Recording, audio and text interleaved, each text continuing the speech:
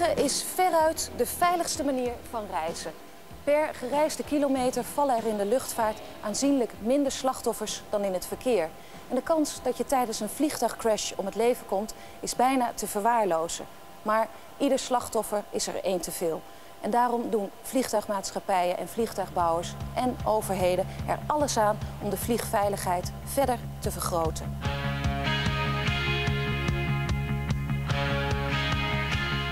Ieder nieuw vliegtuigontwerp wordt onder de zwaarste omstandigheden getest voor het met passagiers de lucht ingaat. Pas na een strenge keuring geeft de Rijksluchtvaartdienst een bewijs van luchtwaardigheid af.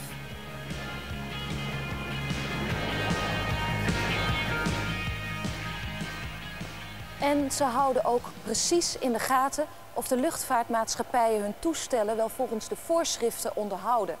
Want bij vliegtuigen wordt niets aan het toeval overgelaten. Ieder onderdeel wordt na een vastgesteld aantal vlieguren vervangen. En dat gebeurt bij een hypermodern lijntoestel, maar ook bij een historische kist. Nalatigheid wordt streng bestraft. En dat is maar goed ook. Want pech onderweg betekent voor een vliegtuig letterlijk een ramp.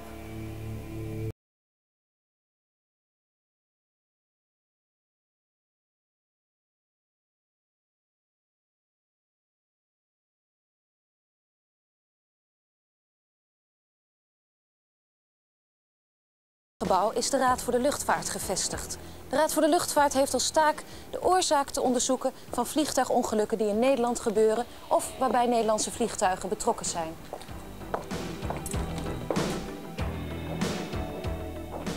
De mensen van het bureau vooronderzoek van de Raad voor de Luchtvaart worden bij een onderzoek bijgestaan door internationale specialisten. Uitgangspunt van hun werk is niet het zoeken van een schuldige, maar het voorkomen dat een dergelijk ongeluk nog eens gebeurt. De Raad voor de Luchtvaart is gewend haar werk in het diepste geheim te doen. Dit is de eerste keer dat een cameraploeg achter de schermen wordt toegelaten. Meneer Groenendijk, waarom zijn de onderzoeken altijd in het diepste geheim gedaan? Dat uh, moeten we even specificeren. Het vooronderzoek wordt ook nog steeds in het diepste geheim gedaan. En dat is omdat je in de beginfase niet zeker bent van de dingen die je vindt of ze ooit een rol zullen gaan spelen in de uiteindelijke oorzaak.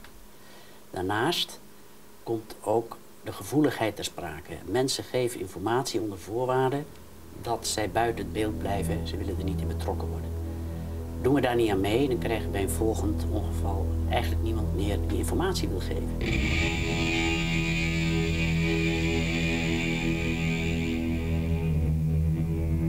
Met welk onderzoek bent u nu bezig?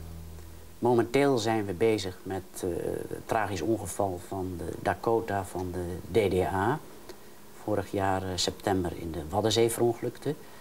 En uh, daar zijn we eigenlijk met ons hele bureau voor het grootste deel van onze tijd aan bezig. Op 25 september 1996 vertrekt de Dakota DC-3 van de Dutch Dakota Association van Texel voor een pleziervlucht over de Waddenzee. Aan boord zijn zes bemanningsleden en 26 passagiers, medewerkers van de provincie Noord-Holland en Ballast Nedam. De vlucht verloopt aanvankelijk volgens plan, tot de piloot aan de verkeerstoren meldt dat hij een probleem heeft met de linkermotor. Decoy, Papa Delta Alpha, feathered number one engine. Papa Delta Alpha, proceed inbound for the runway 22 at Decoy. Roger, give me a heading. Papa Delta Alpha, we have radar contact to make your heading 240. Roger, heading 240. Kort daarna wordt het radiocontact verbroken en verdwijnt het toestel van het radarscherm.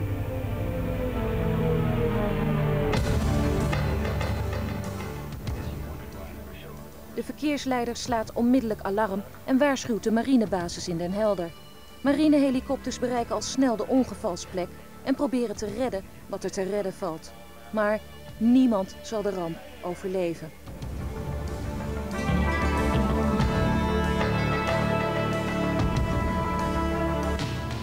Als de slachtoffers zijn geborgen, komt de Raad voor de Luchtvaart in actie. Er wordt een net rond het toestel gespannen, er worden foto's gemaakt van de situatie en dan wordt het toestel voor nader onderzoek aan wal gebracht.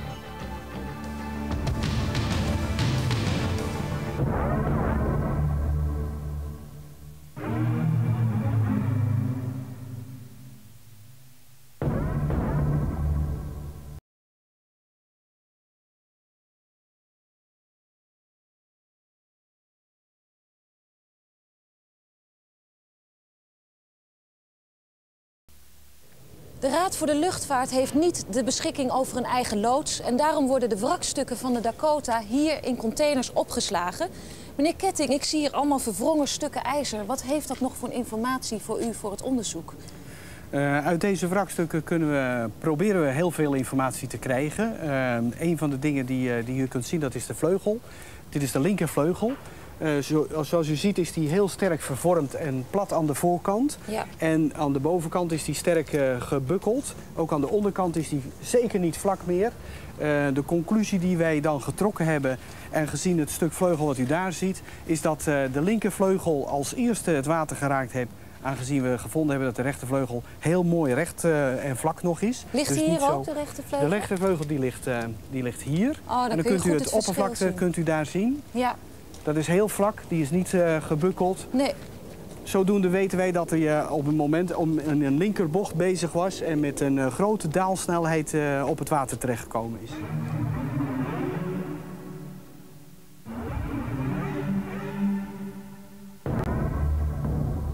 Dit is een oliekraan. Van belang is of de oliekraan open staat. Bij een draaiende motor moet de oliekraan openstaan. We hebben dat heb er een uh, stangetje in gezet. Kijk, je kan duidelijk zien van de oliekraan die is, die is open in deze stand. Wat voor informatie geeft die oliekraan precies, dat die open is en niet dicht? De, het is zeer waarschijnlijk dat in ieder geval de piloot deze motor niet uh, afgesloten heeft. Uh, die heeft de oliekraan open laten staan, wat ook hoort bij een draaiende motor. Anders gaat de motor stuk als je geen olie hebt. Hier hebben we de oliekraan van de linkermotor. En dan doen we dan hetzelfde. We steken het stokje erin. En dan zien we dat deze kraan is dicht. Dicht, ja. En als u er ook in kijkt, dan ziet u ook dat de kraan dicht is. Ja, absoluut. Wat betekent dat voor het onderzoek? Voor het onderzoek betekent dat dat uh, deze kraan is dichtgevonden. Zeer waarschijnlijk hebben de piloten uh, deze kraan dan ook dichtgezet. Ja. Dat zou ook in overeenstemming zijn met uh, datgene wat ze over de radio gezegd hebben... dat ze een probleem hadden met de linkermotor en deze hebben afgezet. En dan behoort deze kraan daarna gesloten.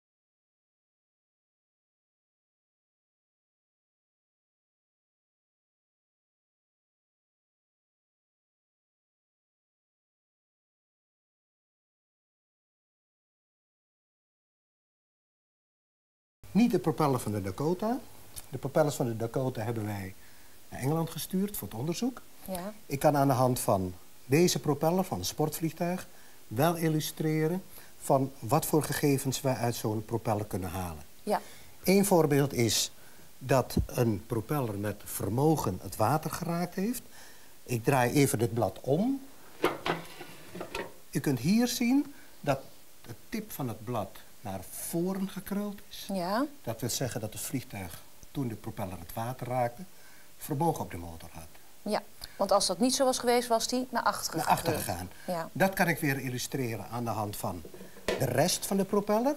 Toen eenmaal het propeller het water had geraakt, toen ging de verstelling kapot. Ja. En bij de tweede klap van het, in het water is de propeller naar achteren verbogen.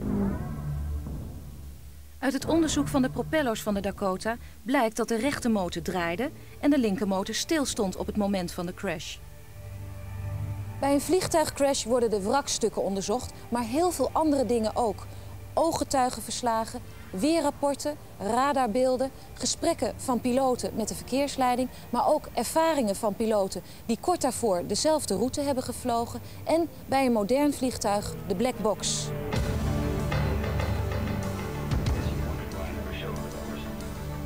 Hier bij het Nationaal Lucht- en Ruimtevaartlaboratorium hebben ze een speciale afdeling waar onderdelen van gecrashte vliegtuigen worden onderzocht.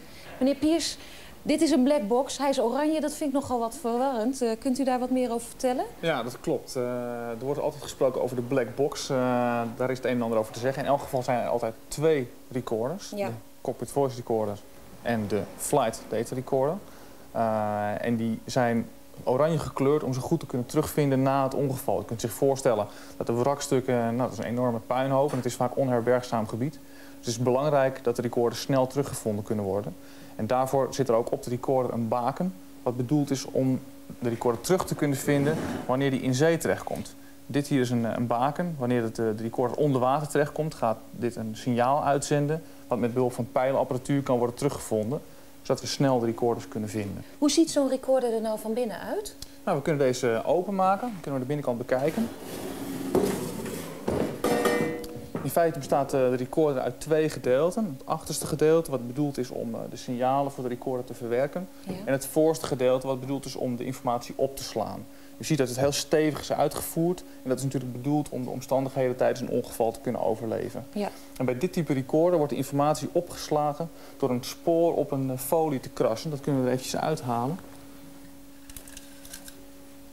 Dus dit folie, dat is een metalen folie, wat bestand is tegen brand. En wat eh, hele dunne sporen die u misschien kunt zien, Ja. krast op het materiaal. Waaruit later weer eh, de gegevens als snelheden en hoogte van het vliegtuig kunnen worden afgeleid. Gegevens van de blackbox kunnen in een computer worden geladen die de vlucht kan simuleren. Deze simulatie is gemaakt op basis van de gegevens van de El Al Boeing die neerstortte op de Belmer.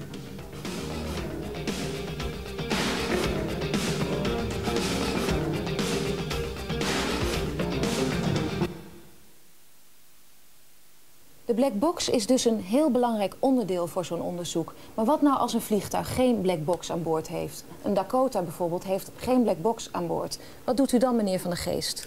Nou, in dat geval zijn we natuurlijk verplicht om gebruik te maken van de radardata... zoals die in feite voor elk vliegtuig wat zich in het Nederlands luchtruim bevindt... gegenereerd wordt of bepaald wordt. Wat we hier zien is, is de radartraject zoals de, de Dakota heeft gevlogen. De groene punten die je hier ziet zijn in feite de radarpositiebepalingen. En die vinden dan onder ongeveer 6 seconden plaats. Je hebt dus een aantal losse punten.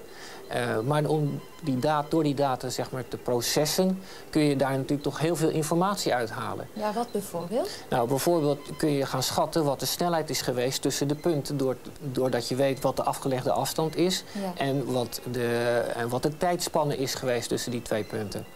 Nou, dit is het snelheidsplaatje en dit is het hoogteplaatje. Dus je ziet in eerste instantie de snelheid gewoon zoals normaal eh, toenemen, zoals je zou verwachten. Ja. En plotsklap zie je de snelheid in elkaar zakken. Ja. En op, je ziet vrij direct nadat die, dat, dat plaatsvindt, eh, heeft de vlieger dus contact opgenomen dat er een noodsituatie was. Je ziet dan dat de snelheid ook heel erg in de buurt van de minimale snelheid komt. En de vlieger heeft geprobeerd zoveel mogelijk snelheid in het vliegtuig te houden, als het ware. En hij heeft daardoor, voor zover dat mogelijk was, wat hoogte ingeleverd. Dus hij heeft een klein beetje hoogte ingewisseld voor snelheid. Maar omdat hij in feite heel laag vloog, eh, ja, was de mogelijkheid daartoe, na- daartoe natuurlijk zeer beperkt.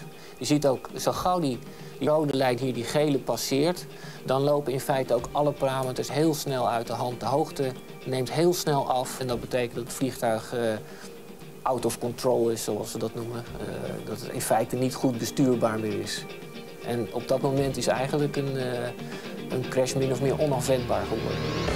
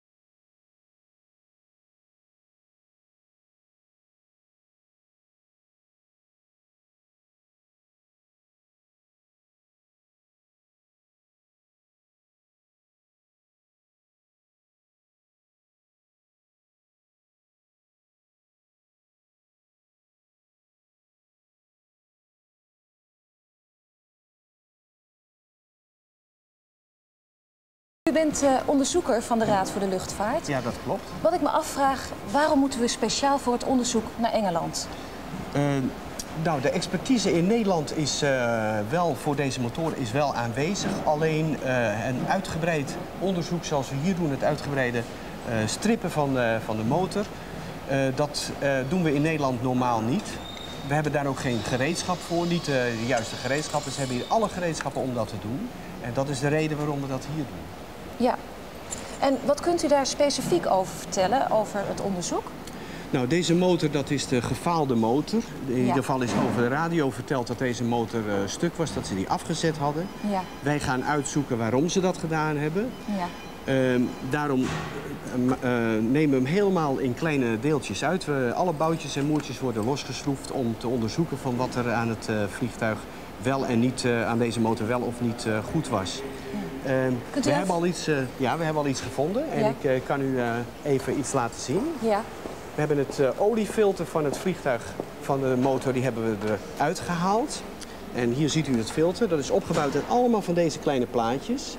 En zoals u ziet, ziet u hier in deze zeefjes ziet u metaal zitten. Ja, Dat metaal hebben we laten detecteren. dat zilverachtige, hè? Ja, en dat is ook zilver. Ja. En dat betekent dat er een van de lagers van, het, eh, van de motor kapot gegaan is. En we gaan nu kijken van welk laag.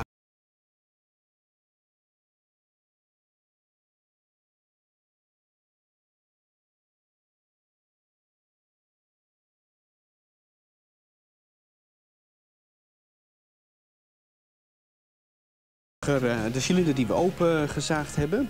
Ter ver- vergelijking heb ik hier nog een eentje die niet opengezaagd is. Daar zit nog een eh, stuk barrel aan. Ja. Die hebben we eraf gezaagd. Deze zat zo in elkaar, zoals u ziet. Ja. En eh, we hebben hem nu opengezaagd om te kijken. De zuiger zat vast. Om te weten van hoe komt het dat die zuiger vast zit. Het kan wezen door de, door de crash zelf. Het kan wezen door andere oorzaken. Het kan ook wezen dat de motor vastgelopen is. Trek je de zuiger eruit, dan maakt hij extra krassen. En dan weet je niet waar die krassen vandaan komen. Vandaar dat we hem open zagen. Ja, ja. Om geen extra sporen te maken die helemaal niks met eh, Ja, het ongeluk te maken Waarvan je hebben. niet weet waar die sporen vandaan komen. Ja. Dan kijken we aan de binnenkant van de cilinder. Nou, dan zien we helemaal niets bijzonders.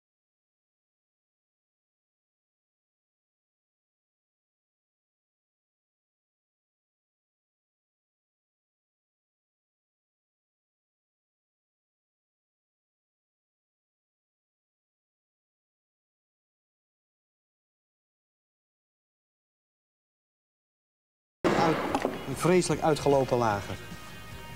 Als je nu kijkt hoe, hoe ruw dit is, Ja. gigantisch ruw. Ja. Dat moet heel mooi glad zijn. Ja. En ook hier, hoe ontzettend ruw dit is. Dat moet glad zijn als een spiegel. Dus dit is het lager wat uitgelopen is, wat dus de speling veroorzaakt heeft. Wat dus gezorgd heeft dat dit gewicht tegen de zuigers aangekomen is. Ja. En waarom ze dus die motor afgezet hebben. Ja, dat was dus het defect aan de motor. Dit is het defecte lager.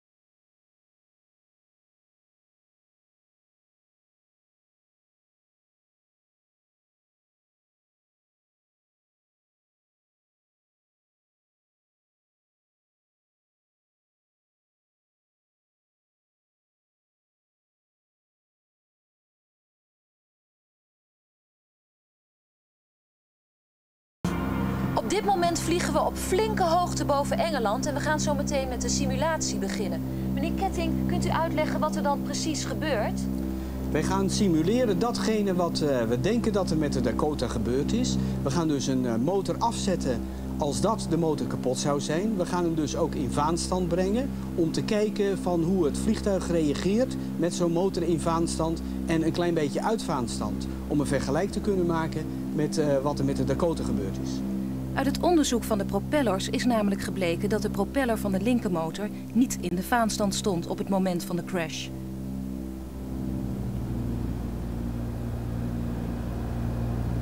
Eerst schakelt de piloot de linkermotor uit.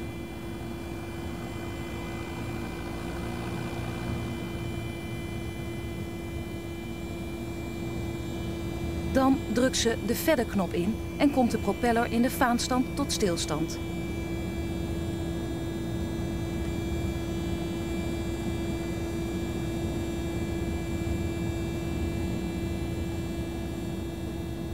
Meteen daarna geeft ze extra gas met de rechtermotor en corrigeert ze de vliegstand van het toestel.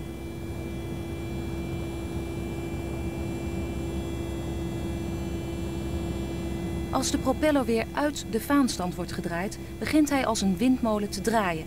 Maar dat gaat wel ten koste van de vliegsnelheid.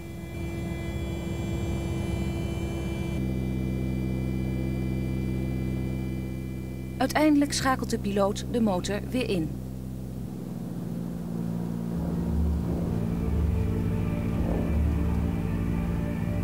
De conclusie van deze vlucht is dat het uitvallen van een motor op zich geen probleem oplevert.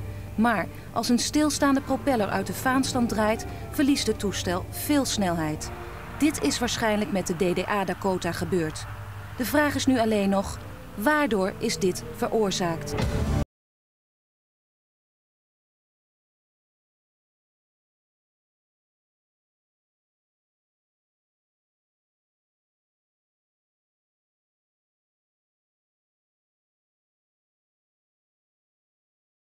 Is dat de propellers van de linkermotor van de Dakota niet in de vaanstand zijn gekomen.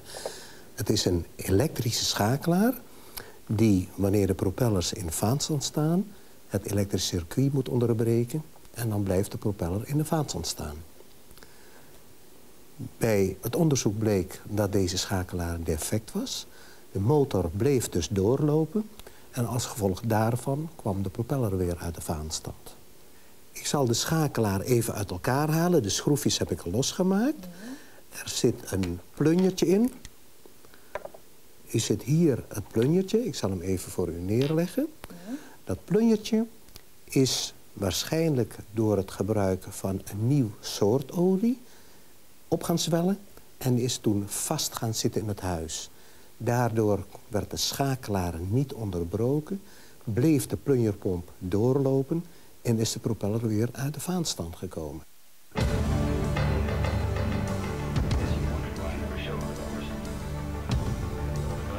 Wat we weten nu, dat kan ik het best uitleggen aan de hand van deze kaart van Texel en een stuk van de Waddenzee.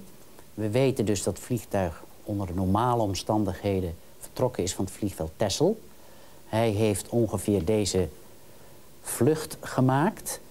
Dat is niet op de radar, maar we hebben hier twee getuigen gehad... die uh, hier ook vuur uit de motor zagen komen en een raar lawaai hoorden. Ja. Op zo'n 600 voet verzocht dus de vlieger een noodlanding te maken op de kooi. Dat werd uh, uiteraard toegestaan. En hij zou eigenlijk de kant van de kooi op moeten zijn gedraaid. Maar, zoals hij al meldde, zijn linkermotor had hij afgezet en in vaanstand gezet. En wij weten nu door het onderzoek dat dat niet goed gegaan is. Dat die motor weer uit de vaanstand is gekomen. Daardoor veel weerstand opleverde op de linkervleugel. En het vliegtuig dus naar links trok. Daar hebben ze hevig mee zitten worstelen. En uiteindelijk is die strijd verloren in deze positie. Is men met een uh, zeer hoge daalsnelheid... maar wel met een vrij horizontale uh, houding van het vliegtuig gewoon loodrecht, vrijwel loodrecht naar beneden gevallen. En dat is in, in, in enkele seconden gebeurd. Het technisch vooronderzoek is nu zo goed als afgerond. De onderzoekers moeten alleen nog de puntjes op de i zetten... voordat ze de resultaten overdragen aan de leden van de Raad voor de Luchtvaart. De Raad komt in september met haar definitieve eindrapport. Maar nu al heeft ze wereldwijd de waarschuwing verspreid dat de schakelaar van het verder-mechanisme kan falen, met alle gevolgen van dien. Daarom moeten alle Dakota's, waar ook ter wereld, streng gecontroleerd worden.